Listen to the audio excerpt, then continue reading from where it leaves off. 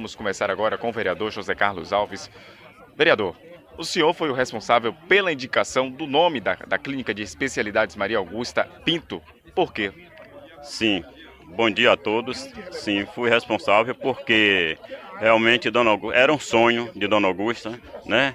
Que se tivesse aqui uma clínica sobre o nome dela.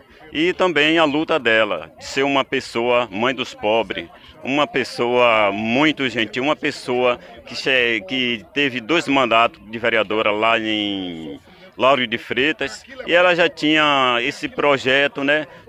Ela fazia um, um, lindo projeto lá em Lauro de Freitas, e ela também estava querendo fazer um projeto, trazer um projeto para aqui, para a cidade de Teodoro Sampaio, e ela conversava muito comigo, ela identificava muito comigo por ser uma pessoa do bem, uma pessoa que trabalhava para os pobres, né? E aí eu aprendi muito com ela e também me senti na obrigação de eu fazer essa homenagem à Dona Augusta através do, da amizade que eu tenho na família, o respeito, né? Sou o mesmo partido do prefeito, do PR, e graças a Deus me deu, eu me senti à vontade de fazer essa homenagem à Dona Augusta, porque essa homenagem à Dona Augusta é bem merecida pela pessoa que ela era, pelo tudo que ela fazia uma pessoa entregada às causas dos pobres, uma pessoa que realmente tinha o tempo só para servir as pessoas. E aqui em Teodoro Sampaio, ela tem aqui o era a primeira dama do município, né, esposa do prefeito,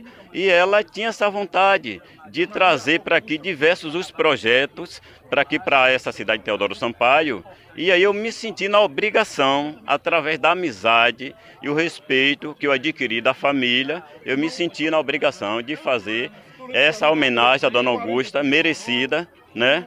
Por ela ser essa pessoa que ela era, uma pessoa íntegra, uma pessoa muito do bem, e eu me senti na obrigação de fazer essa homenagem a ela.